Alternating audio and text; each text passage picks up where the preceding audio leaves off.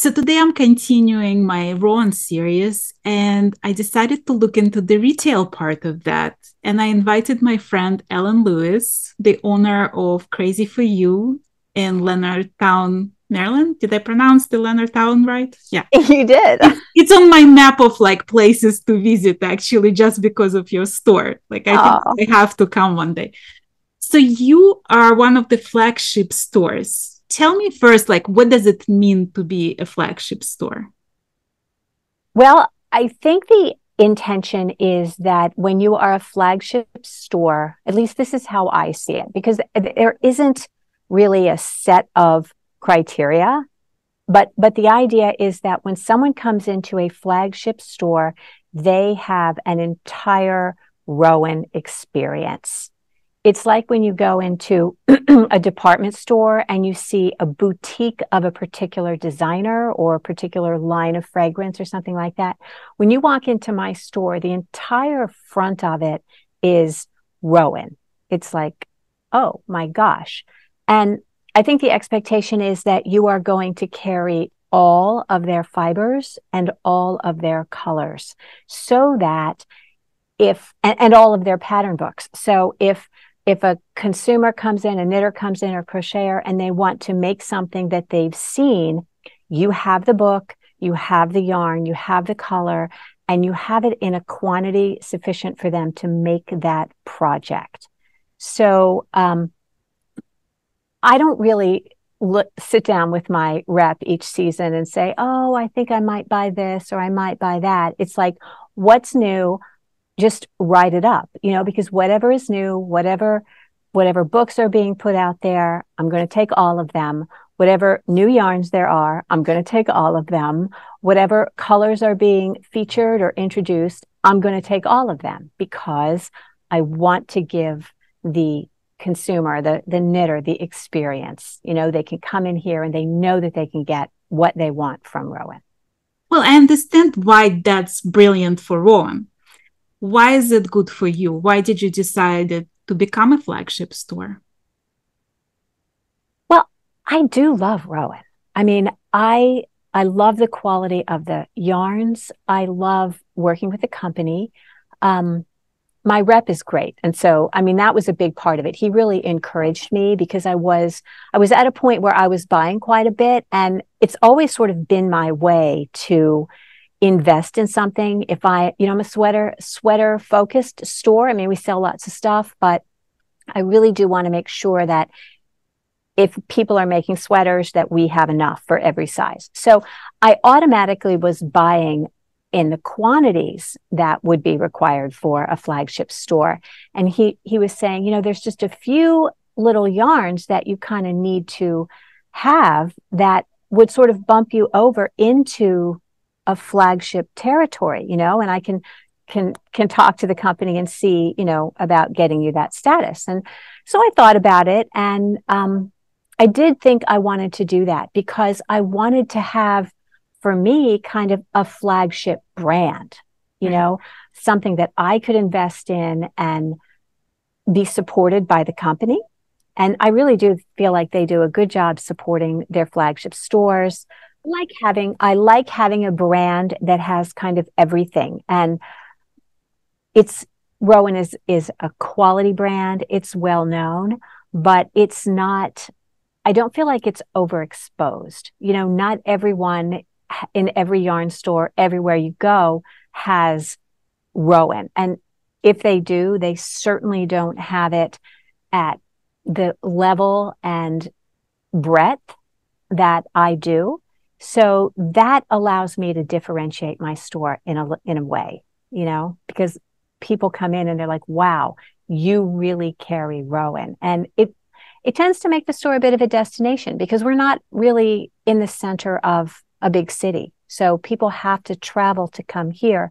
So being a Rowan flagship makes my store a bit of a destination. Besides the fact that you have all the colors, I feel like you're not just the surface style fan of Rowan. Like you actually know that yarn, you knit with that yarn, you know those design uh, m- magazines like cover to cover. it's a sickness. Well, well, did that start before you became a flagship store? It's it's sort of interesting because um, what really got me back into Rowan was the introduction of Mode, which um, Mode is sort of a is a, a sub brand of Rowan, and it's run by Quail Studio, and it's definitely much more youthful. And their their designs are are simple and clean and classic. And I had been looking for something like that. So I'd had another brand that was sort of looking for that sort of young, slightly younger market.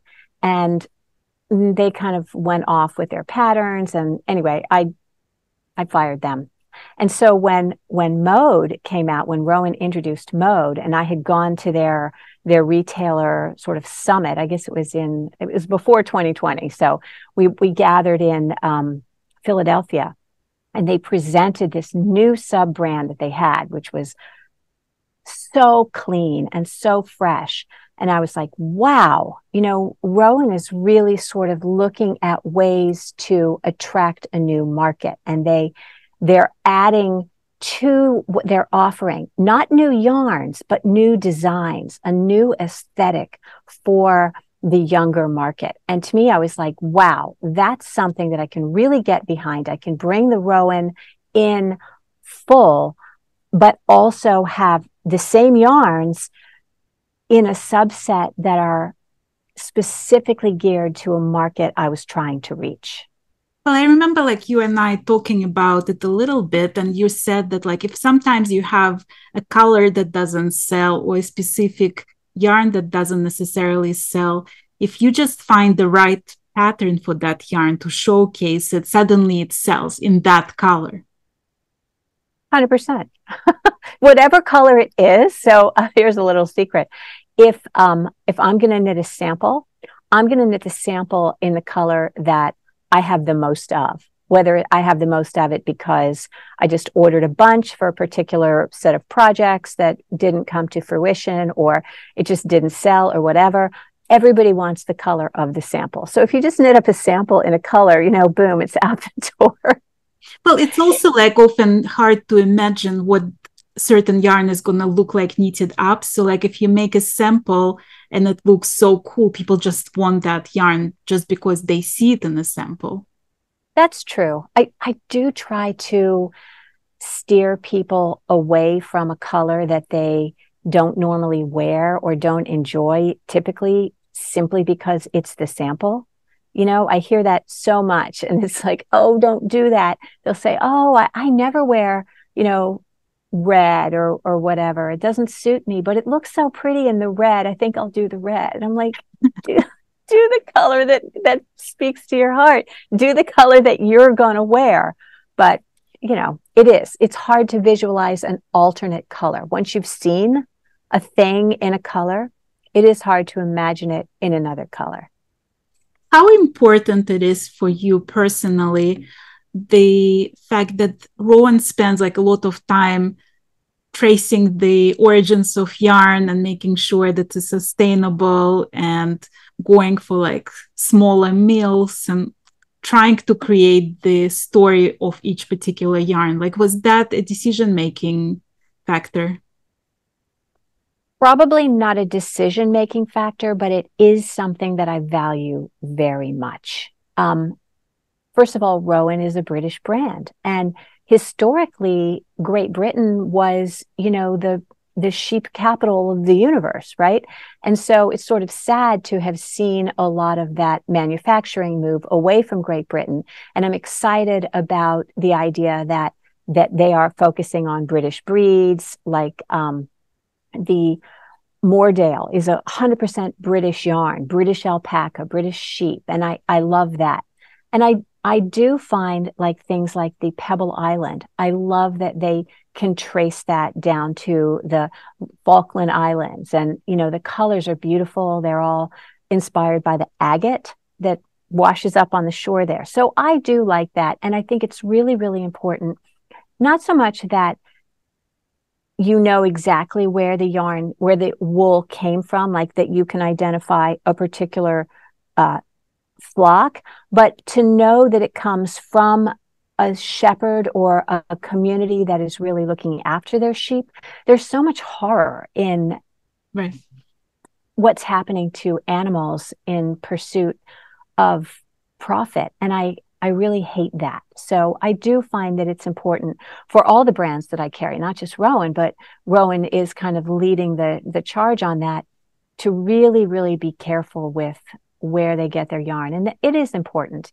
It wasn't a decision making factor because I, I, decided to be part of the part of the um, the brand before they were doing so much of that. But um, I guess they were always doing it, and I just sort of been learning learning more about it.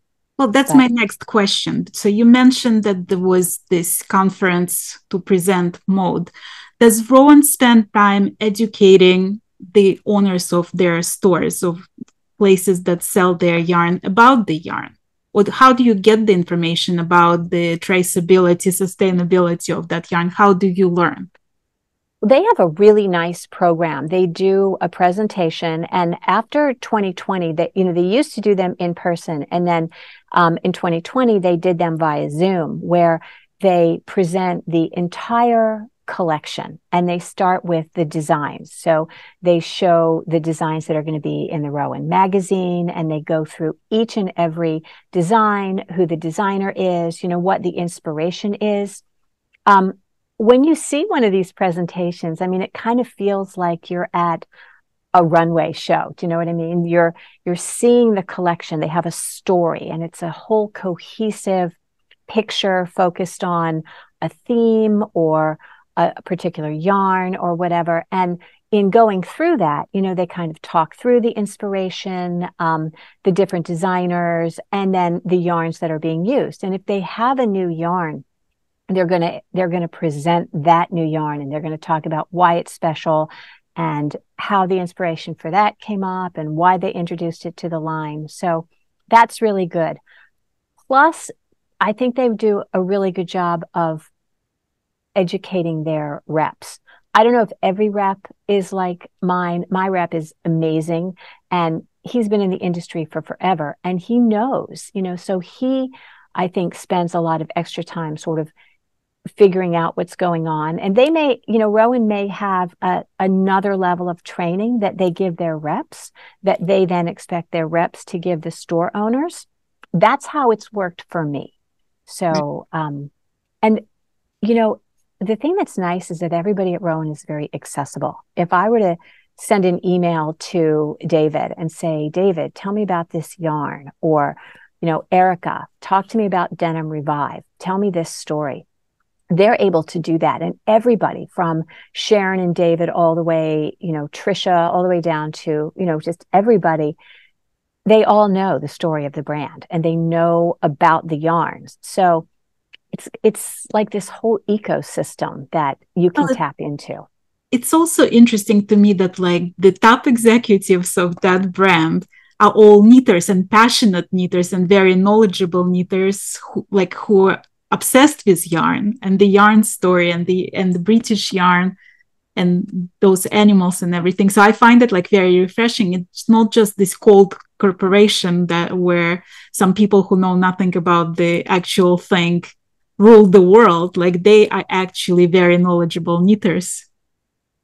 100% and you know there are certain designers that rowan has. I call them um, stable designers because i sort of think about you know them being the the racehorses in the rowan stable. You know they've been they've been with rowan such a long time and they're not just designers for rowan they, i mean they are designers for rowan but they're not just designing. They have input into the yarn and the colors and i think that's probably one of the most important aspects about rowan is that their whole business model is led by the designers. You know they start with the designers. You know they maybe have a theme or something but but it's it's a collaborative process. It's not okay we've decided on the yarns we've decided on the colors because we did some um, you know, statistical analysis and looked at the Pantone colors and here are the colors, go off and do something with it.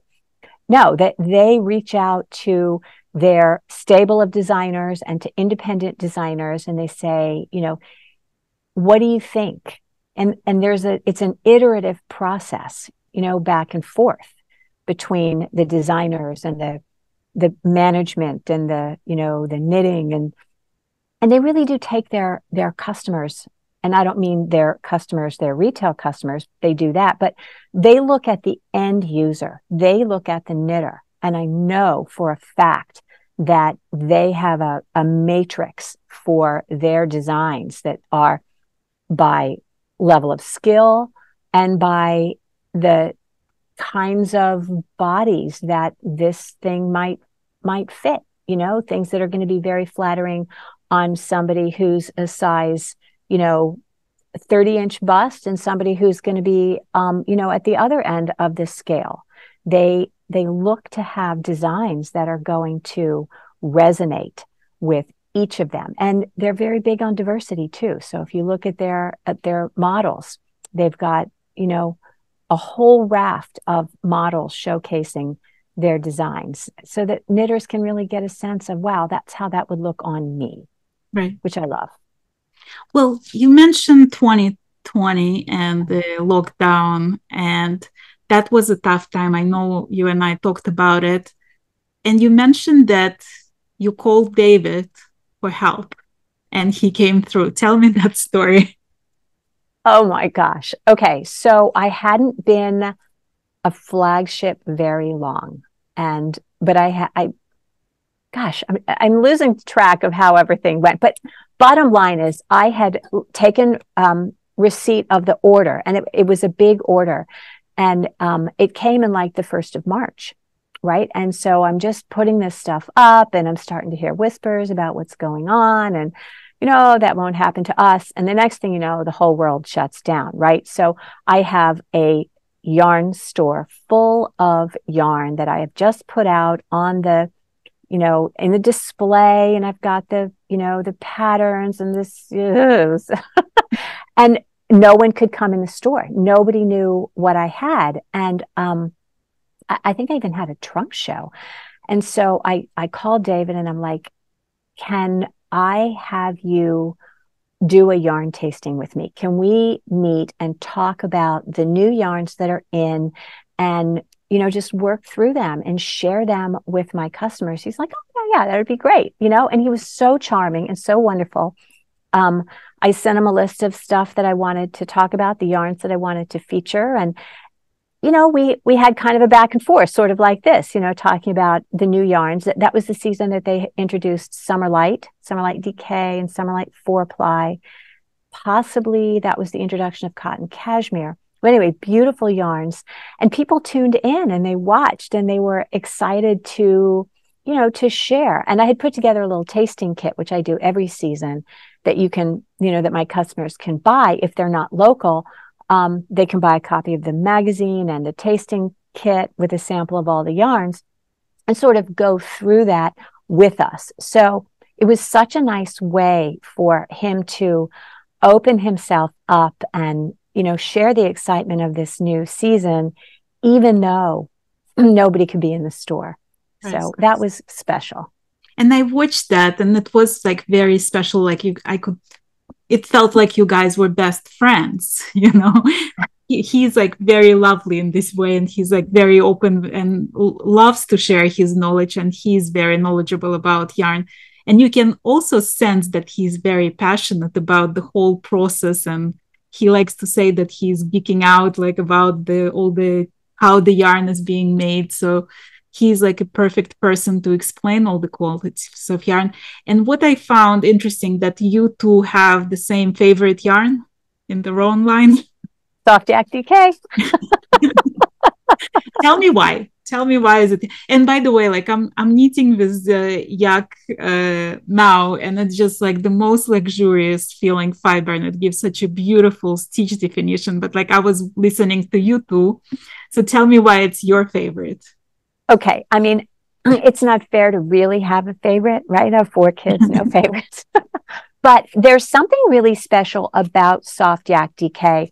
Um, first of all, it's a cotton blend. All right. I like it because um, it feels really soft. Nobody, I mean, certainly there are people who have wool issues and they're just like, oh, I don't like wool. But it's very hard to find a cotton that doesn't feel like ugh, cotton. Right. And Soft Yak DK is one of those fibers that maintains the softness of the cotton. And then with that little bit of yak in there, it's so luxurious. But what makes it really special is it's what they call a modern construction. It's, it's not, you know, so new anymore. People are used to seeing chainette. But when it was introduced, it was a fairly new, um, new construction to have this chainette yarn, which, as you know, is a tiny little I cord, right? So the yarn has been knitted and it gives the yarn this beautiful bounce. So it's a cotton that knits like a wool, right? So even if you can't enjoy wool, you can still knit with this yarn and get that beautiful elasticity and bounce. So it makes it a really pleasant yarn to knit with. Um, and then that little bit of yak in there. So you know that yak doesn't take the dye all that well, or it takes it differently than the cotton does. so even though it's a solid yarn, because the cotton and the yak fibers have been um, blended together before they're spun, you get this wonderful sort of heathery aspect to the yarn. It's more visible in the lighter colors, but you get a little bit of um, heather. Right. Yeah, you get a little color. The other thing I really like about Soft Yak DK is it's really round and it has great stitch definition. So cables in it really pop, but the chainette construction makes it light. So you can get a heavily textured or cabled summery kind of garment that doesn't feel heavy. You know, this is a year round yarn. Well, talking about year round yarn, like there are certain yarns that people are either allergic to or just not in their budget. Do people come often to you to ask for possible substitutions? And is it possible to substitute within the Rowan line? Yeah, yeah, absolutely. I don't think that there's a direct substitute for for maybe every yarn, but um, similar yarns, like if you, for some reason or other, you couldn't find the color that you wanted in Soft Yak DK, you could substitute something like um, Rowan cotton wool, which is also a DK weight chainette construction. It's like uh, 60 40 wool cotton. Um, yeah, I, I try, when we substitute yarn, I really try to think about more than just the gauge. You know, you have to think about um, the the physical weight of the yarn. Like there's really no substitute for Kidsilk Haze. You know, if you don't want to use Kidsilk Haze, then maybe you ought to pick a different project. but um, you can substitute, but I would say that it's one of the things that's super nice is that they don't have a lot of duplicates. You know, they don't have three different versions of basically the same thing, which you find in some companies that have just a ton, a ton of yarn. And Rowan has a lot of yarn, make no mistake. They have a lot of different yarns, but there there isn't a, a real redundancy. Right. Well, they also have their core yarns and then they have the seasonal or like some surprise kind of yarns. Um, talk a little bit about that. What that's about is, um, of course, having a nice basic line, which is, you know, what every flagship store is expected to have, like we talked about.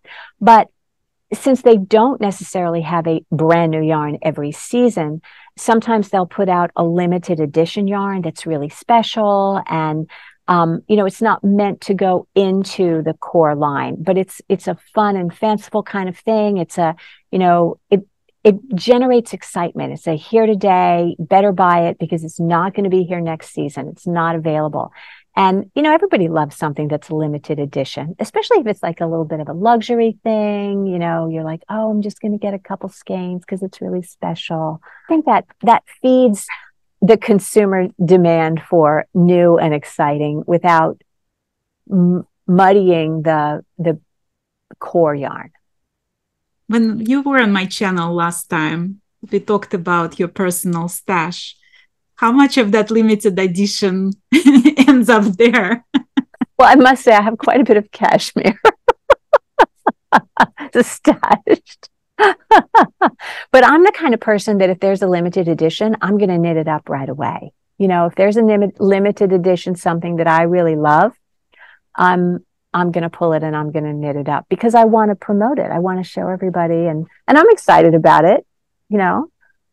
So, it's funny. I don't pull stuff for my stash. I just leave it on the shelf and I feel like if um if I have my eye on something and somebody else buys it, you know, I would rather that they have it because I can always order more. right. Wasn't meant to be. Exactly. Exactly. And at the end of the day, you know, I'm here for my customers. it's not a it's not a hobby. Right. Well, when you do the um, sample needs, you have some, you you're not the only one who's doing sample needs for the store. You do some, and then other people do some. Do you have like certain yarn that you always gravitate to knit with personally?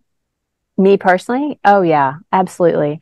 I like carrying kid case with other things. I mean, I love, like, I did a, a coat um, a couple seasons ago called the Moss Cardigan. It was cotton cashmere carried with kid case. I mean, I think you could put kid case with anything and it would just be amazing. Um, I don't have one one yarn that I I gravitate to. Sometimes it's you know sometimes it's the design. Um, I do love, I love all of them. Again, it's it's hard, but I do love Kidsilk Haze an awful lot. Not by itself. I don't knit with Kidsilk Haze by itself at all, ever. Right. What's your best selling yarn from Rowan? Or like, are there a few best selling yarns? Yeah, felted tweed and Kidsilk Haze. And do people buy like specific color? Is there like color that you cannot keep enough of on your shelves? Well, you know, the thing about it is there's 30 or 40 colors of of felted tweed and we stock all of them. Um, it's not it's not like one color or the other that people can't get enough of. The thing about felted tweed and kid silk silkes both, but felted tweed in particular, is that it's so perfect for color work.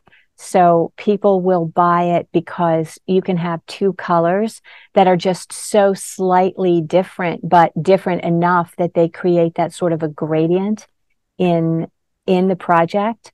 So if you look at, at some of Kaffe's things, you know, Kaffe Fassett does this beautiful color work and it's all about shading. You know, he's an artist and he does this beautiful, you know, very subtle gradation of colors.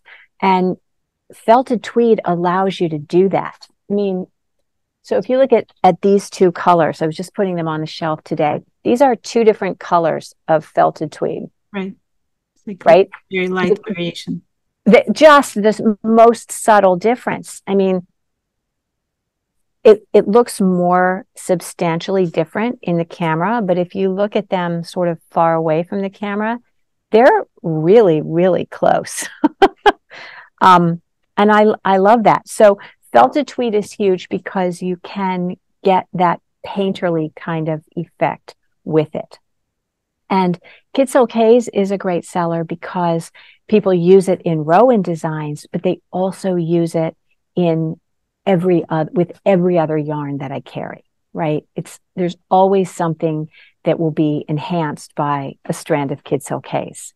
You know, it, you can use it to bump the gauge on something. You can use it to soften the line uh, between two two colors or you know if you have an issue with some kind of a dye lot if you carry a strand of Kidsilk Haze with it it's going to be a lot less noticeable so Kidsilk Haze is a really great seller for that reason because it's not just a Rowan yarn it's a it's a resource Right. Well, I know that you are very passionate about perfectly fitting sweater and you love the satin sleeves, you love doing all the finishing work on sweaters. Is there any Rowan designer that speaks to you on because of that level, that sort of connection? Yeah, really kind of of all of them. I had a great conversation with Martin Storey when we were talking about this um, this Afghan that he's doing about the the tailored shape and that kind of fit.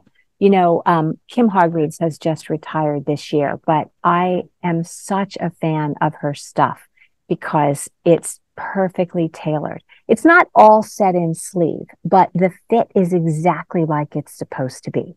You know, and Lisa Richardson is that way. Martin Storey is that way. Um, all of their all of their designs. They have a really classic one. I, I think it's Elisa Richardson. It's called um, the Perfect Sweater, and it's just felted tweed, and you can do it in any color you want. It comes in a cropped version, comes in a um, standard length, V-neck, crew neck.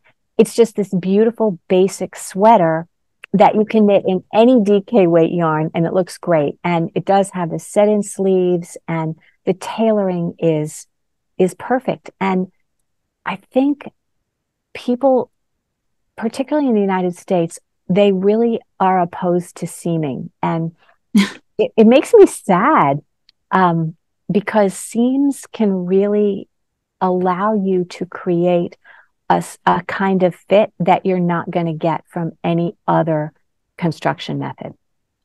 Well, I was when I was talking to Kaffe Fassett, uh, I sort of asked him this question that his designs are having like it's fair isle it's it's all about color right? It's color driven. So there is a lot of intarsia and fair isle. And i said you know like when a lot of people hear the word intarsia they just run away screaming you know they're not even going to touch that pattern.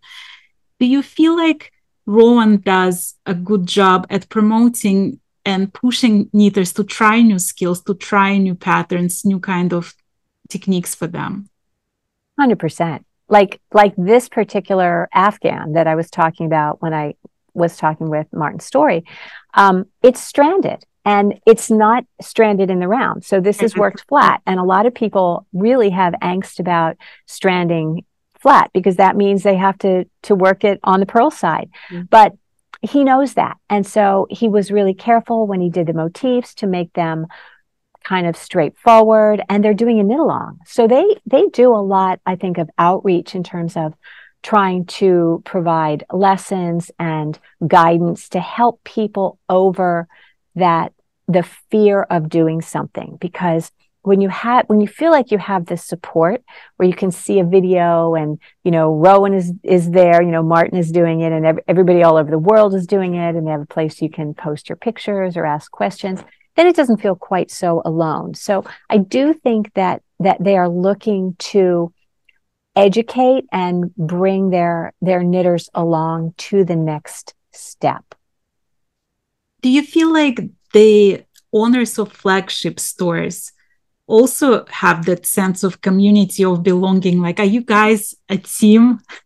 So um, at at stitching events or you know other kind of trade events like h&h you remember you were there with me. We went into the rowan um, they had a, a suite there and they had you know snacks and drinks and everything. And they had they had events for rowan flagship store owners. So we could go in and you know chat with each other and see the the new yarn that was coming out this season. And they had the samples there. So that was really nice. And it you know it was it was a chance for us to kind of all get together and you know, meet in person rather than just on Zoom. So that was really fun. And I think, I think that kind of thing is something that Rowan is really trying to promote and encourage among flagship store owners. Uh, you telling me a story that like you had Arne and Carlos in your store. Was that part of the Rowan connection also?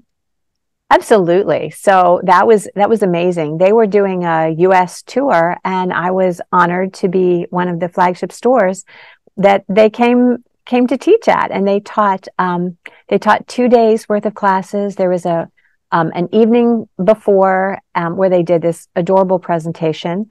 They had slideshows, and I mean, they're just so funny, you know. And there was a book signing, really warm and personable people, you know. So they were there. Everybody was amazing. We had people coming from all over.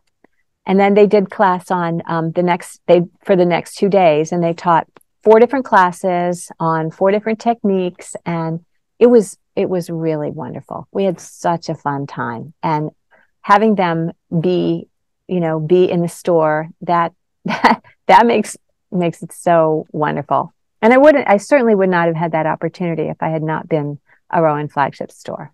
Right and i've heard like i've heard that prior to COVID that you know that this is how most of the instructors and most of the designers did their classes. They would go to the flagship store and teach there in person.